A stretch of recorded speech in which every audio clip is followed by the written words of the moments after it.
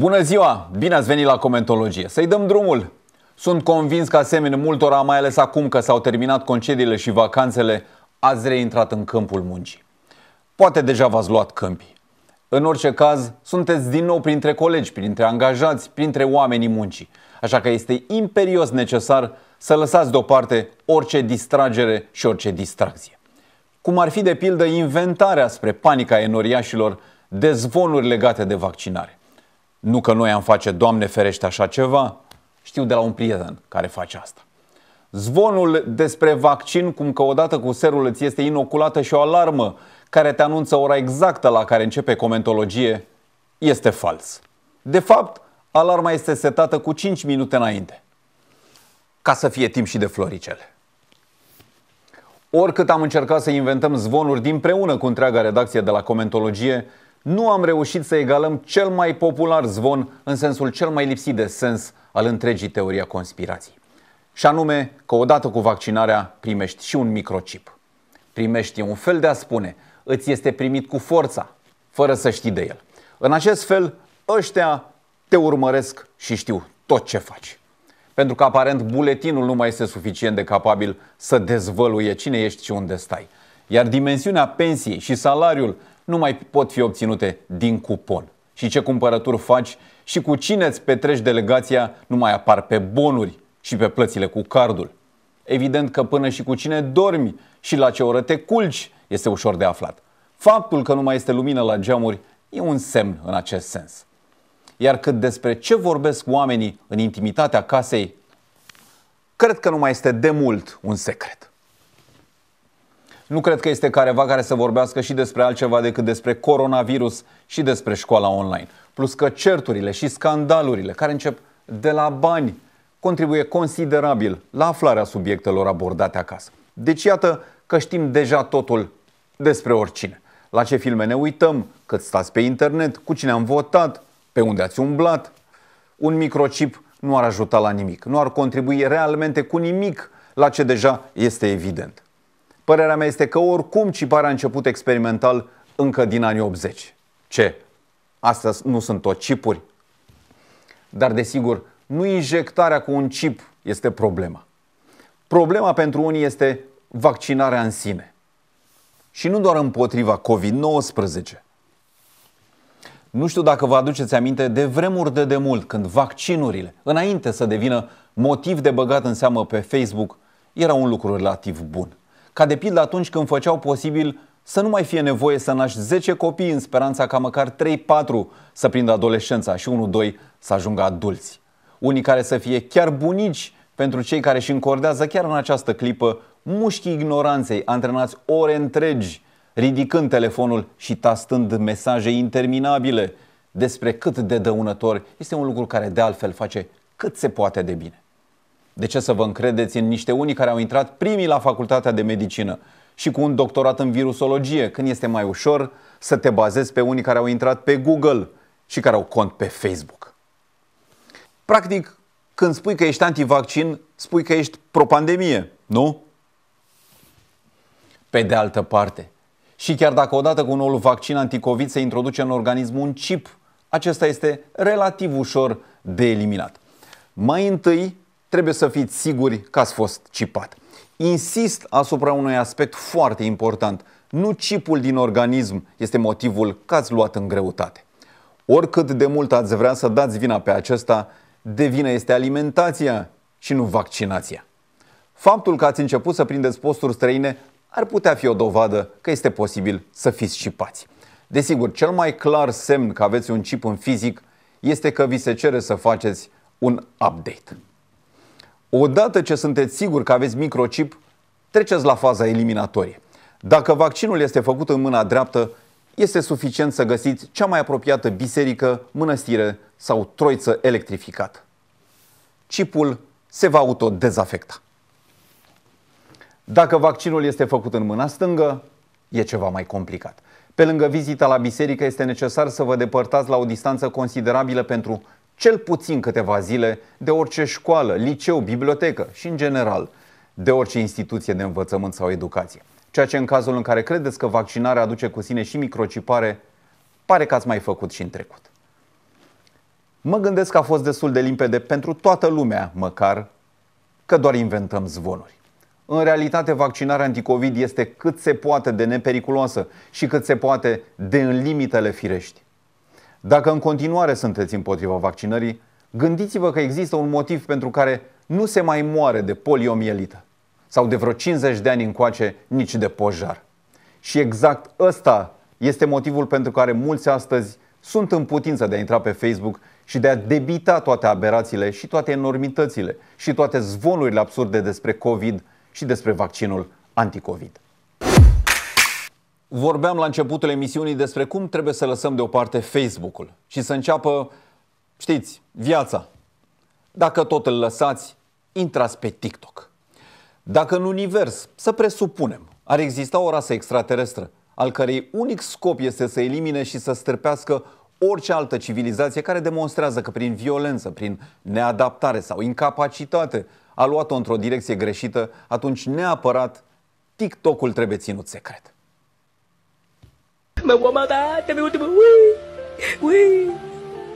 Una la un miliard Ca tine greu de găsit femeie de calitate.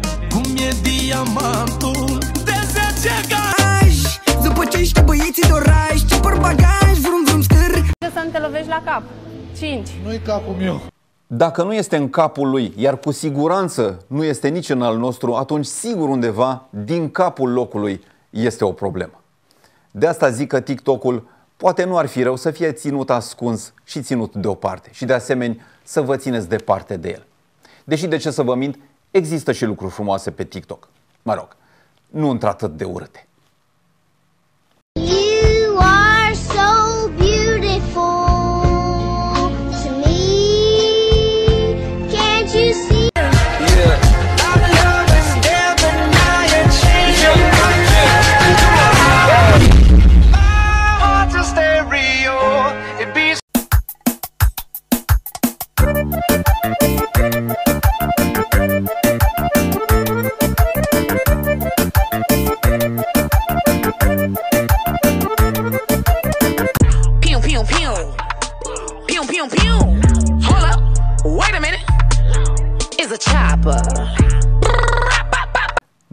Nu sunt imagini de la Revelionul care a generat glumele de genul mai ta este atât de grasă. Sunt doar niște imagini care, fără a pierde din vedere dimensiunea ridicolului, sunt de natură să mă bine dispună.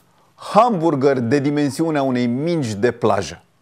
Singurele lucruri aproape la fel de periculoase pentru sănătate sunt teoriile conspiraționiste și zvonurile despre cât de dăunător este vaccinul anticovid sau absurditățile imbeciloide și destructive ale lui Cumpănașu, pe care îl găsiți, desigur, tot pe TikTok. În ultima vreme, Cumpănașu a fost prezent pe toate canalele de televiziune, subiect central în scandalul elevi, profesori, educație online. Ce este și ce nu este legal, ce este și ce nu este decent, ce este și ce nu este educație. Au curs imaginile despre acest subiect. Nouă la comentologie ni se pare deci necesar să abordăm alt subiect cu alte imagini. Vedeți, eu până și pe voi, pe hateri, vă tolerez. Nu. Este din fabrică și funcționează perfect.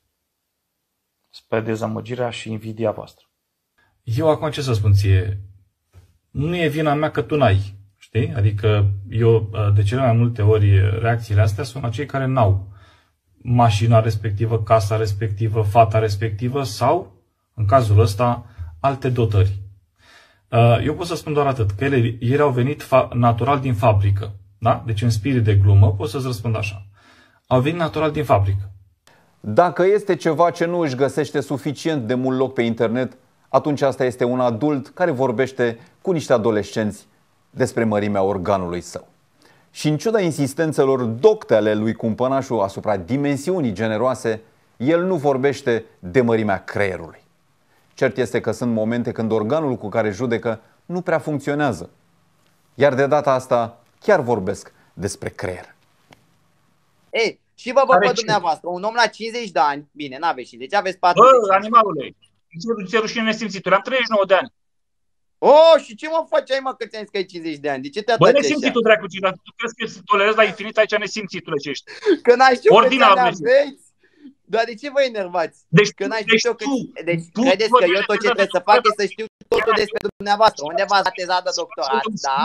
Unde v-ați dat atezat de doctorat? Ce vârstă aveți? Unde v-ați născut? Dar nu vreți să știu ce greutate ați avut la naștere? Nu știu nici asta. Puteți să mă înjurați, dar nu știu ce greutate ați avut. Nu știu nici pe ce ziceți născut, că nu mă interesează persoana dumneavoastră. Mă interesează, în schimb, că vă bate joc de copii, da, de elevi, care chiar își pun Da, speranță că în sfârșit cineva poate să schimbe ceva. Acesta este Prof Online. Ultima postare pe care am prins-o pe pagina de TikTok a lui Cumpănașu era una în care o tânără domniță îl întreba de ce este trist. Bianca, sunt uh, trist și destul de supărat și de afectat și obosit pentru că eu uh, m-am obișnuit să fiu uh, criticat, atacat pentru că nu mă încadrez în linie și trebuie să respect uh, ce vrea unul sau altul din statul român. Însă jignirile, minciunile, știrile false date la, la posturile TV în perioada aceasta uh, mi-au afectat foarte mult mama, care este extrem de bolnavă, uh, care suferă foarte tare cu inima și care, mă rog, a trecut prin momente extrem de dificile.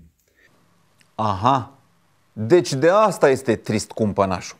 Și eu care aș fi jurat că tristețea lui provine din faptul că a realizat într-un final că dimensiunea organului cu care se mândrește nu se măsoară făcând comparație cu organul celuilalt sex. Dacă s-ar decerna un premiu suprem pentru perseverență, ambiție și anduranță, noi l-am fi dat Elenei Udrea. Ea a anunțat că s-a infectat cu noul coronavirus cu fix o zi înainte de ultimul termen în procesul finanțării campaniei electorale din 2009, în care este judecată pentru corupție la Curtea de Apel București. Pe 14 decembrie anul trecut, Curtea de Apel a mai amânat odată procesul de corupție în care sunt protagoniste Elena Udrea și Ioana Băsescu, stabilind termenul pentru 8 ianuarie 2021. Numai că nici de data asta nu a fost să fie. Ea este acuzată de instigare la luare de mită și spălare de bani, un dosar deschis de DNA pe vremea când era ministru al dezvoltării regionale și turismului. Îi dorim doamnei Udrea multă sănătate, dar nu putem să ne prefacem că nu vedem cum norocul îi cam așterne de fiecare dată covorul roșu pe care pășește țanțoș. Sigur, nu vrem să spunem că a fost salvată de COVID, să iasă testul negativ cât mai repede cu putință, dar sperăm că la următorul termen să nu o găsim în Caraibe. Prin februarie 2018, Elena Udrea anunța că este însărcinată cu gemeni și declara că nu vrea să fugă de procese. Iar asta o spunea în timp ce se afla în Costa Rica, unde a cerut la un moment dat azil politic. După ea, același lucru l-a făcut și Alina Bica. Am mai văzut prin politica de pe la noi astfel de personaje care sunt atente la cele mai mici detalii și nu se lasă până nu fac o treabă temeinică. Un lucru care să sfideze atât timpul cât și magistrații. Și ne gândim la Nicușor Constantinescu, care după atâta amar de vreme încă mai strigă atunci când se dă jos din duba penitenciarului că la mijloc e multă poliție politică. Deși există tone de probe care atestă vinovăția. Aproape la fel de multe tone pe câtă tablă a luat mită Alexe. La urma urmei, trăim într-o lume liberă. Fiecare dintre noi având dreptul de a se da mare, de a face pe nebunul și pe deșteptul sau pe prostul. Iar câtă vreme e vorba de libertatea fiecăruia dintre noi, e scuzabilă până la urmă și invocarea infectării cu SARS-CoV-2 înaintea unui proces. Până la urmă, Udrea face parte din fosta elita clasei politice care a avut și încă mai are cunoștințele necesare pentru a alcătui scenarii de mare succes, devenite blockbustere, cu oameni care au chip de nevinovați în proporție de 30-40%, dar care au știut de fiecare dată să păstreze distanță față de boxa acuzaților în proporție de 100%. S-a descurcat, cum se spune. Sperăm din tot sufletul să nu mai auzim ridicolul suprem al pretextului neconstituționalității, avansată până nu de mult de CCR, potrivit căruia procurorii DNA n-ar fi specializați pe anchetarea faptelor de corupție. Păi dacă procurorii anticorupție nu pe fapte de corupție sunt specializați, mai ales că au o experiență îndelungată, oare pe ce altceva sunt specializați? Și dacă pentru un banal delict ca luarea sau darea de mită astăzi e nevoie de cursuri speciale, Nu trebuie oare specializări și pentru furtul unui ou? Mâine o să se ceară cursuri și pentru furtul unui bou. Mă întreb oare ce vom sărbători anul acesta de Ziua Mondială Anticorupției? Că doar nu o fi doar dosarul Alexe cu cele 22 de tone de tablă. Ar fi cam puțin, nu? Dosare, nu tone. Ca să nu rămână pe butuci, anticorupția presupune nu doar măsuri urgente și hotărâte, ci și aplicarea de măsuri de stopare și salubrizare a dregătorilor prezente și astăzi în mediul politic. În așteptarea unui nou termen în dosarul Udrea și a însănătoșirii cât mai grabnici a domniei sale, se pare că avem condițiile divine pentru stat la povești, pentru scufundare în erotismul cele mai profunde stări în statul român, și anume statul de vorbă. Și dacă tot vorbim, Oare nu ar fi frumos și în justiție să se întâmple cum s-a întâmplat în sănătate? Și anume să avem justiție militară ca în pandemie? Dar probabil că justiția militară este pentru justiție ce este muzica militară pentru muzică. Am mai vorbit despre subiectul vaccinare, însă nu pot să nu mai spun câteva vorbe, chiar să le repet. AstraZeneca, mare producător de medicamente britanico-suedez și mare cercetător în domeniul medical, o companie uriașă cunoscută pe tot globul, recunoscută chiar și de cei care cred că pământul este plat, ei bine, AstraZeneca solicită aprobarea vaccinului său anticovid în Uniunea Europeană. Părerea mea de comentologist este că Uniunea îl va aproba. Doar Biserica Ortodoxă din România, cunoscută și sub numele de scenă BOR, are ceva îndoieli în legătură cu eficacitatea și eficiența vaccinului. Asta în condițiile în care Vaticanul a transmis în luna decembrie credincioșilor catolici că utilizarea vaccinurilor anticovid-19 este acceptabilă din punct de vedere moral. Chiar și atunci când aceste produse farmaceutice utilizează linii celulare provenite din țesuturile prelevate de la fetuși avortați. Și cu toate acestea, Îps Teodosie ne spune că cel mai mult vindecă tot rugăciunea. El nu este nici pro-vaccin, dar nici împotriva vaccinării, însă a declarat că nu se vaccinează pentru că e alergic alergic la un vaccin pe care încă nu l-a făcut și nici nu exista până acum câteva zile. Pe unii poate că îps e posibil să-i convingă. Doar pe cei pe care trebuia să-i convingă, adică pe deja fostul mitropolit al Muntenegrului și pe fostul patriarh al Serbiei, răpuși de COVID, nu a reușit. Cam așa este cu credincioșii din România. Vor ajunge să înțeleagă că vaccinul e bun, dar tot timpul va exista un dar că de har nu mai poate fi vorbă. Un profesor de engleză din liceu ne spunea că natura are un simț straniu al umorului și ne-a explicat vorbind despre o fostă elevă pe care părinții au numit-o Afrodita, dar care era de o rățenie rar întâlnită. Și cum noul coronavirus este născut în natură, până la proba contrarie, are și el un puternic simț al umorului. Ultima victima umorului este Bogdan Stanoevici, fie țărna ușoară, unul dintre protestatarii antibodniță care a devenit, din păcate, doar un număr într-un tabel al celor decedați din cauza de COVID. Unii simpatizanți de-a lui Trump sunt îngrijorați în legătură cu viitorul acestuia. Contul său de Twitter a fost închis. O vreme a fost închis și contul Facebook. Conturile bancare s-ar putea să fie și ele închise și într-un final chiar însuși Trump ar putea fi închis pentru ce s-a întâmplat săptămâna trecută la Capitoliu aș veni cu un sfat pentru Trump. Să scoată ce poate de pe card și să vină în România, chiar cu Blue Air dacă nu are alternativă, pentru că aici foștii președinți rămân pe veci în libertate. Avem exemplul lui Iliescu, care a organizat nu una, ci două mineriade. Și mineriadele față de scândălașul, scândălețul, scândălicul de la Washington sunt ceea ce ar fi un Real Madrid-Barcelona față de un voluntar chiajna. Prietenii microbiști știu de ce. Plus că aici ar putea da peste Șoșoacă, peste Codrin Ștefănescu, peste Olguța, cu care s-ar înțelege de milioane. Pentru că dincolo de naționalitate, toți vorbesc aceeași limbă. Poate cu Olguța ar comunica chiar în franceză, pentru că Olguța a confirmat în fața unei lumii întregi că se pricepe. Doar cu Dragnea nu s-ar putea întâlni, cel puțin în viitorul apropiat, pentru că acestuia i-a fost respinsă cererea de revizuire formulată împotriva sentinței în care a fost condamnat la 3 ani și 6 luni de închisoare. Așa că va rămâne încă o perioadă la beciul domnesc. Vorba lui Radu Mazăre. În aceeași ordine de idei, dacă vrea să se vadă cu Tăricianu de pildă, ar trebui să se grăbească, pentru că acestuia DNA îi coace ceva. DNA cere președintelui României să formuleze cererea de efectuare a urmăririi penale în dosarul de corupție care îl vizează pe Călim Popescu Tăricianu și în care Senatul votase în iunie 2019 împotriva ridicării imunității.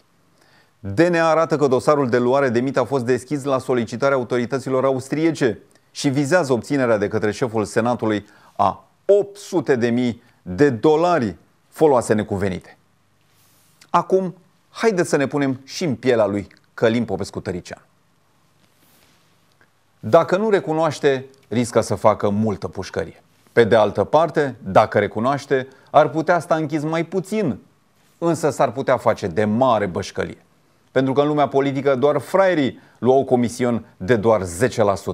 Iar asta o știm de la Vanghelie, fostul primar de la sectorul 5, care fără 20% refuza să vorbească corect în limba gramatică. Și până la urmă, 800 de mii de dolari. Ce mai înseamnă procurori săraci și invidioși? Nu aș vrea să ne încheiem la comentologie înainte să nu amintim cât de distractivă este viața când trăiești doar așa, în principiu, în Românica. Ce poți să faci cadou cuiva care are uriaș de enorm, de incalificabil de mulți bani? O insulă, o navetă spațială, poate un pic de decență? Mă rog. Cert este că pentru Ion Siriac s-a găsit un cadou suficient de interesant. Simona Halep i-a făcut cadou un Trabant. Țiriac are un parc auto de colecție impresionant, dar Trabant nu avea. Bineînțeles că Simona s-a gândit să-i facă cadou domnului Țiriac această mașină, pentru că domnul Țiriac are foarte multe mașini foarte scumpe. Și prin urmare trebuia să fie ceva cu poveste, ceva amuzant și s-a gândit fix la trabantul ăsta. Recunosc că s-a gândit minunat. Nu există nimic mai potrivit pentru Țiriac decât un trabant. Cel puțin unul dintre ei este o vechitură zgomotoasă peste care a trebuit să se dea un strat gros de vopsea ca să se ascundă rugina și găunoșenie. Iar cu aceasta, cred că putem să ne închem liniștiți la comentologie. Ne vedem săptămâna viitoare.